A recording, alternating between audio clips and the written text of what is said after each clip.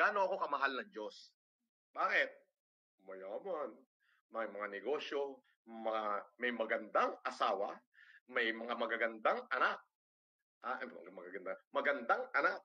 Ah, magagandang sasakyan, magandang bahay, magandang opisina, mapagmahal na mga kaibigan. Ah, yun din po mga kaibigan, no? Um, sa mga talino warriors, mga kaibigan, malalaman din talaga natin na marami talagang tinatagong lihim si Norman Mangusin, mga kaibigan. Walang mga pamilya. Yung mga matatagal yung pamilya, wala, wala na, walang lumalabas. Kundi yung mga lumalabas lang ngayon is mga ngayon niya lang din nakilala.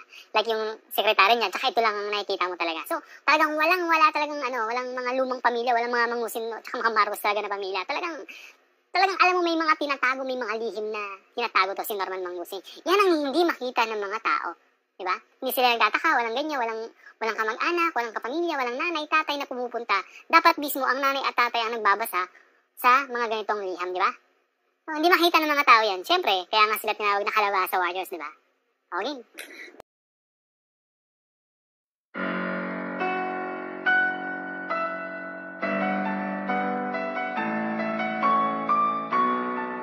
Leo Marcos na hindi niya alam o hindi niya ginawa ang kasong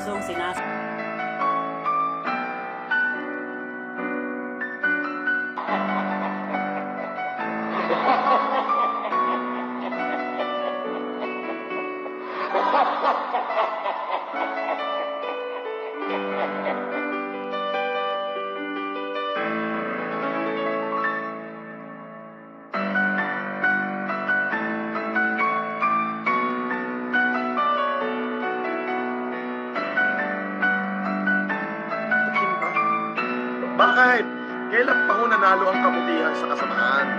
Di?